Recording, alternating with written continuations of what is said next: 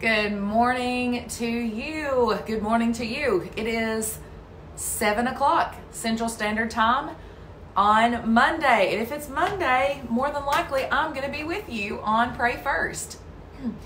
And I am waiting, hi Mel, to see who is going to join me this morning as we continue reading through the Bible. We are in Exodus chapter 33 this morning, and that's where we're going to begin. I've got my Bible it is the message version, and we are just trucking along as we are reading about the Israelites and their exodus from Egypt. Good morning, Corinne. Good morning, Brandy. Good morning, everyone that's coming in. It is Turkey Week, y'all. Turkey Week. Do y'all watch? Hey, Marilyn. Um, do y'all watch the parade? Is that one of those things that you just have to do on Thursdays? Is that one of those things that you just like? It's not Thanksgiving unless you watch the parade. If that's you, hey Neil, give me a hashtag. Yep, yep. Um, are you a dark meat person or are you a white meat person when it comes to turkey? You know, it might be different. Like I like chicken thighs and chicken breast. But I'm, I don't know. I don't know that I'm really, but I do want some of that turkey breast. You know what I'm saying? Like I just want the turkey breast. Y'all, I'm obviously hungry this morning and I'm ready for some turkey. We will be traveling um, to see some family this week. So I would appreciate some prayers for traveling graces this week. And um, that would be amazing if y'all would do that for us. I had an amazing birthday last week. Thank you to many of you, if not most of you, that th- that you know wished me a happy happy birthday and it was a great day spending some time with my family uh, my boys and my you know fantastic husband. So dark meat i'm seeing the dark meat. Hashtag live hashtag shared. Hashtag live if you're here at the seven o'clock hour any other time hashtag recorded.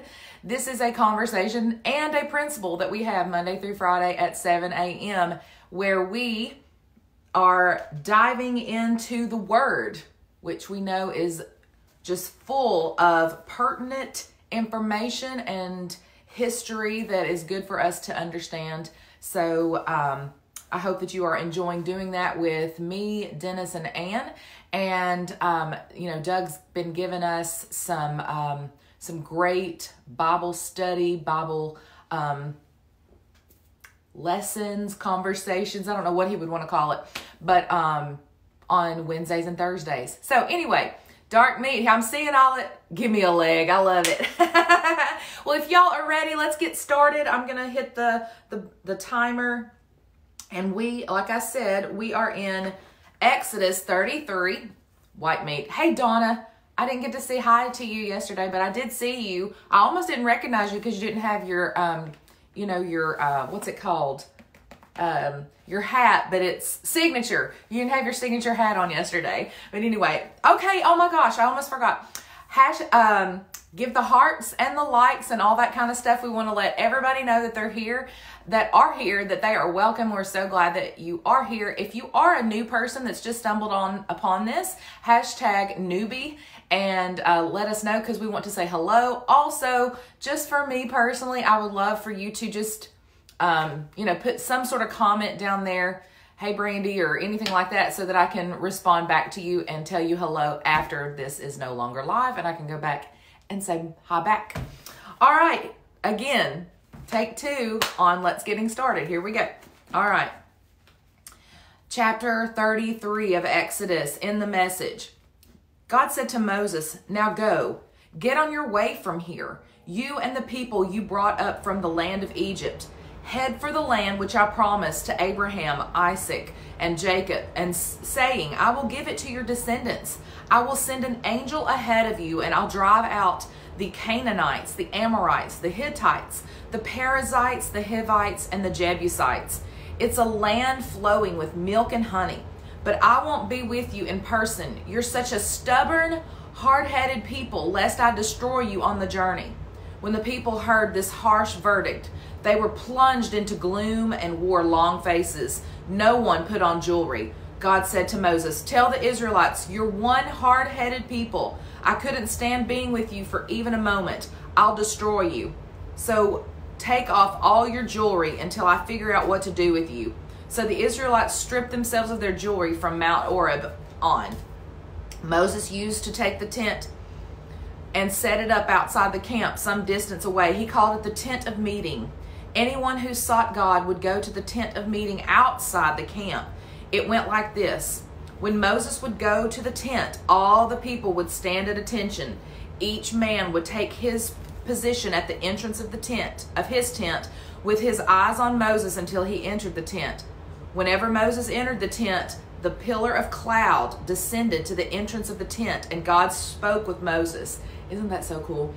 All the people would see the pillar of cloud at the entrance of the tent, stand at attention, and then bow down and worship, each man at the entrance of his tent.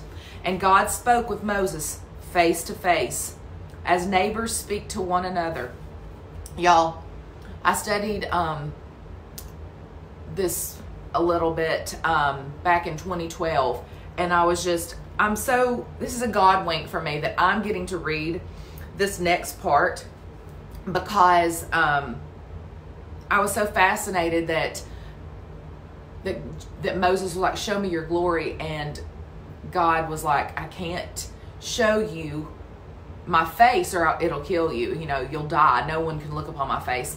And so, anyway, we'll get to that in a second, but this it always makes me tear up. So if I get teary eyed, then y'all know what is wrong with her. But anyway, and God spoke with Moses face to face, as neighbors speak to one another.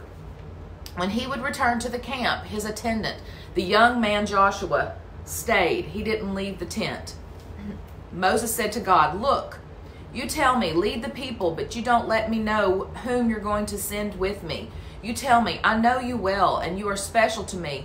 If I am so special to you, let me in on your plans. That way I will continue being special to you. Don't forget this is your people, your responsibility. God said, My presence will go with you. I'll see the journey to the end. Moses said, If your presence doesn't take the lead here, call this trip off right now. How else will it be known that you're with me in this, with me and your people? Are you traveling with us or not? How else will we know that we're special, I and your people, among all other people on this planet Earth? God said to Moses, All right, just as you say, this also I will do. For I know you well, and you are special to me. I know you by name. Moses said, Please let me see your glory. And God said, I will make my goodness pass right in front of you. I'll call out the name God right before you. I'll treat well whomever I want to treat well, and I'll be kind to whomever I want to be kind. God continued, But you may not see my face. No one can see me and live. God said, Look, here is a place right beside me. Put yourself on this rock, and when my glory passes by, I'll put you in the cleft of the rock and cover you with my hand until I've passed by. Then I'll take my hand away, and you'll see my back, but you won't see my face chapter 34. God spoke to Moses, Cut out two, two tablets of stone, just like the originals, and engrave on them the words that were on the original tablets you smashed. Be ready in the morning to climb Mount Sinai and get set to meet me on top of the mountain. Not a soul is to go with you. The whole mountain must be clear of people, even animals. Not even sheep or oxen can be grazing in front of the mountain. So Moses cut two tablets of stone just like the originals, and he got up early in the morning and climbed Mount Sinai as God had commanded him, carrying the two tablets of stone. God descended in the cloud and took up his position there beside him and called out the name God. God passed in front of him and called out, God, God, a God of mercy and grace, endlessly patient, so much love, so deeply true, loyal in love for a thousand generations forgiving iniquity, rebellion, and sin. Still, he doesn't ignore sin. He holds sons and grandsons responsible for a father's sins to the third and even fourth generation. At once, Moses fell to the ground and worshiped, saying, Please, O Master, if you see anything good in me, please, Master, travel with us. Hard headed as the, these people are, forgive our iniquity and sin. Own us, possess us and God said, As of right now, I'm making a covenant with you in full sight of your people. I will work wonders that have never been created in all the earth, in any nation.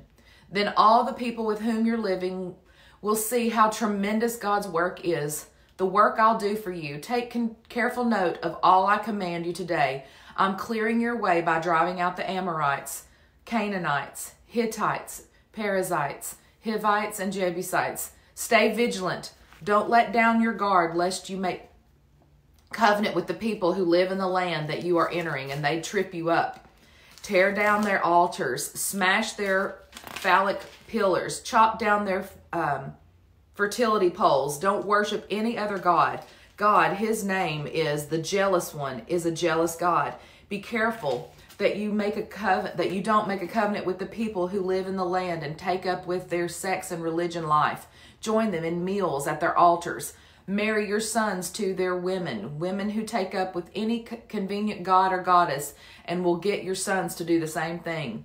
Don't make molten gods for yourselves. Keep the feast of unraised bread. Eat only unraised bread for seven days in the month of Abib.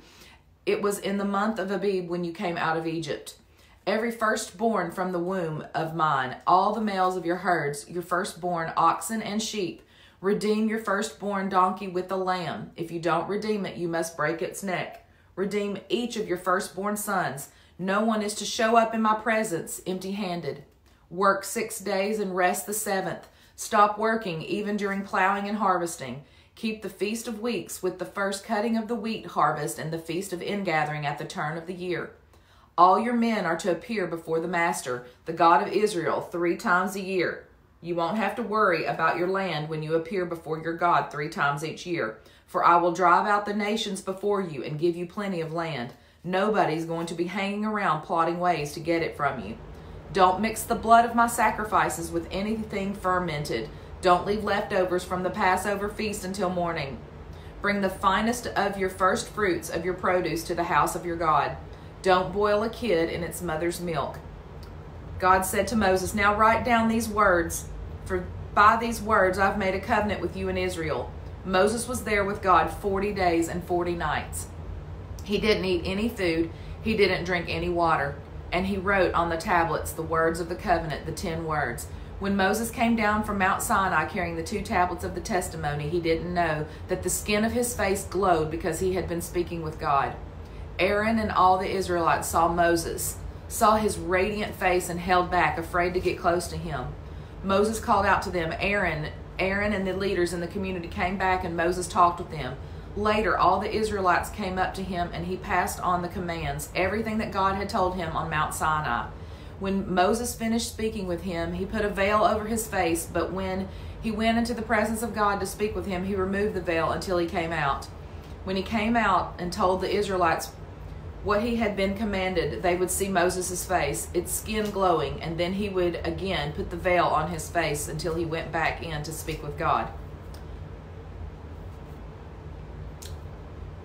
Chapter 35 Moses spoke to the entire congregation of Israel, saying, These are the things that God has commanded you to do.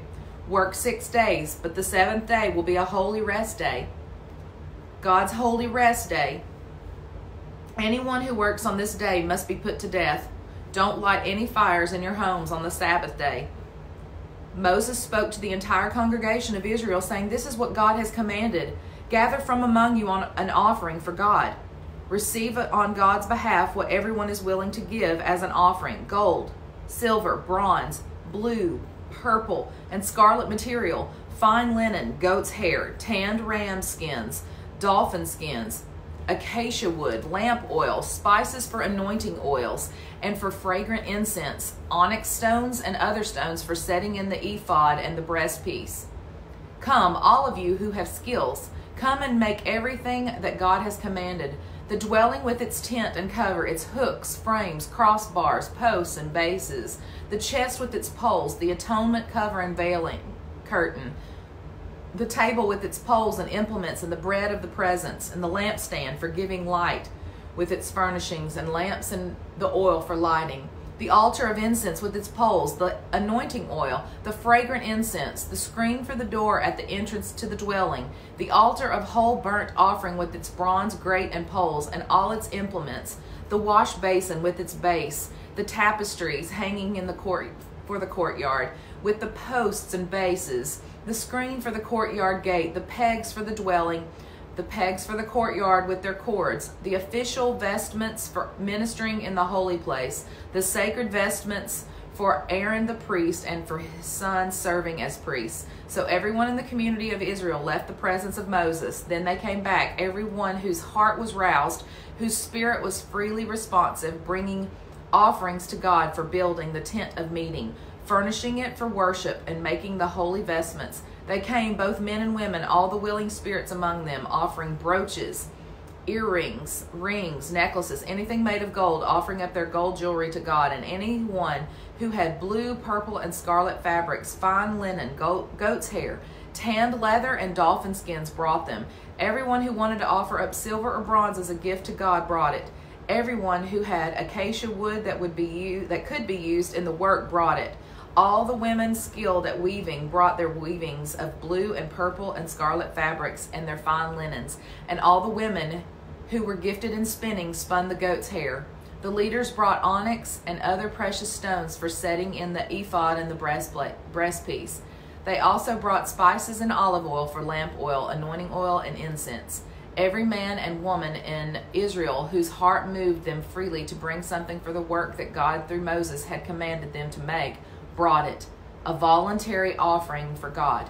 You know, and that's the difference between tithes and offerings. Tithes, just like Pastor Doug has talked to us about at Crosspoint, and even on here, if I'm not mistaken, the tithe means tenth and it's the first. It's the first of your increase, the first of your fruits, and you bring it back. It's not yours. You're bringing it back as an obedient act that God has commanded us to do, but it also comes with that promise, you know, that He'll pour out such a blessing on us and He'll rebuke the devourer, and the blessing will be so big that we, that we can't contain it.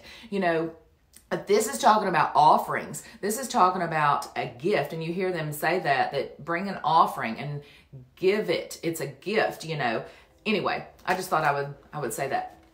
Okay, Moses told the Israelites, "See, God has selected Bezalel, son of Uri, son of Hur, of the tribe of Judah. He's filled him with the Spirit of God, with skill, ability, and know how for making all sorts of things, to design and work in gold, silver, and bronze, to carve stones and set them, to carve wood, working in every kind of skilled craft and he's also made him a teacher.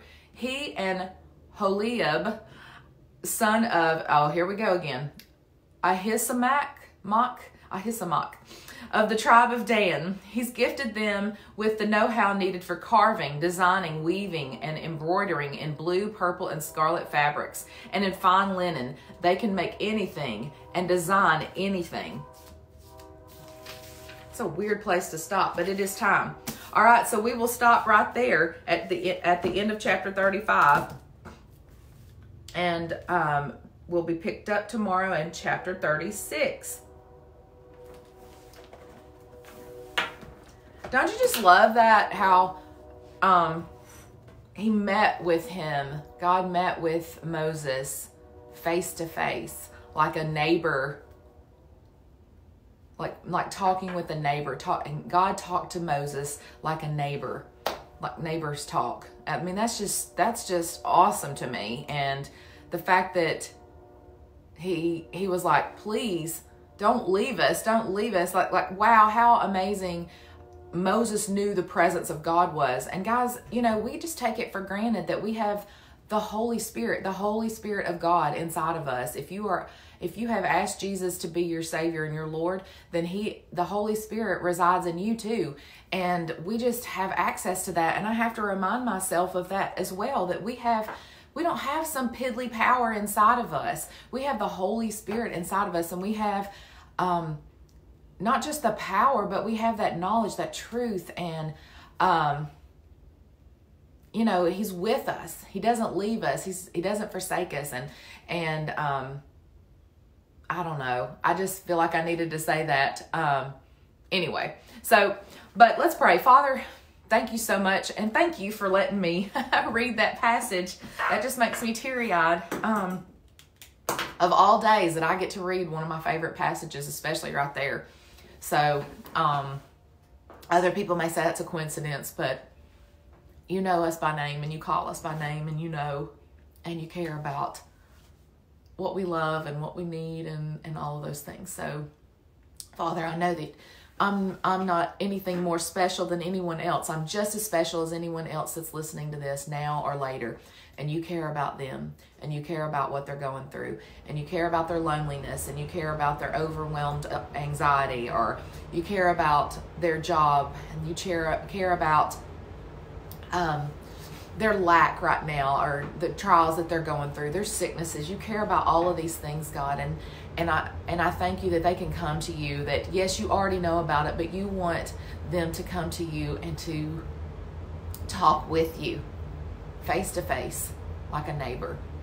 And um anyway god thank you for loving us and thank you for thinking that we're special.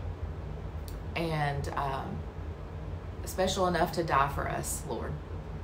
So, Father, we love you, and I just ask that you just continue to be with us, to give us that presence where we feel you in a real tangible way, God, and that, that you would speak, Holy Spirit, to us and teach us and remind us of the things that you've already said and to, to lead us into the future, what we're supposed to do, God. And it's in Jesus' name we pray. Amen. Y'all, hashtag live, hashtag shared, and good gravy. I was having kind of a good face day this morning. oh well. Oh well. Anyway, I hope you guys have a great day and um man, I, I can't wait to see some family, some more of my family this week. I hope you guys have something amazing to do. And you know what?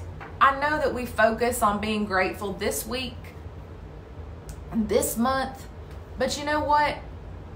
Um, it is so, it is acceptable and recommended to be grateful all year long and to thank God for the things that we have. And especially when He answers a prayer. You know, the He answers a prayer, we need to thank Him and be grateful. And you can do it more than once. I know um, my little one, Jarvis, um, when he got a bike last year for his birthday, it taught me a lot about being grateful. He said, probably for a week, several times a day, Thank you for this bike, Mama. Thank you, Daddy, for this bike. You know, and then a little bit later, I just love my bike. And he just kept on and kept on. And then I was just like, oh my gosh, how many times do I thank God like that with such gratitude, with such you know, remembrance, continual remembrance for the things that we have. We might say it one time, but just to, you know, every time we pick up the word, do we say, Thank you, God, for this word? Thank you. I appreciate it. Thank you for meeting with me. Thank you so much. Thank you for my car that I have every, you know, do we get in it? No we don't, and we take it for granted. Thank you for this house that I have. Thank you for this family and these, this church family that I have. Thank you for my spouse. Thank you for my children. Do we do we do those all the time? No. But can we? Absolutely. So I just challenge you and myself to be a little bit more continual heart of gratitude, right? Can we have a continual heart of gratitude, not just when it's a specific holiday.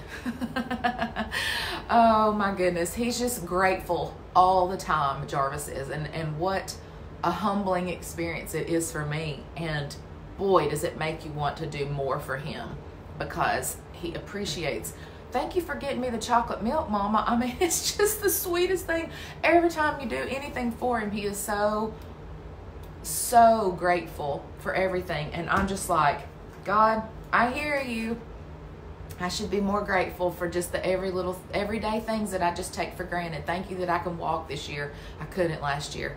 Every time I stand up, thank you so much I can stand up. You know, it's just the little things that we take for granted. But anyway, y'all be challenged and gr- and grateful. But love you guys. Y'all have a wonderful Thanksgiving week and I will see you probably on here tomorrow texting with you. Love y'all.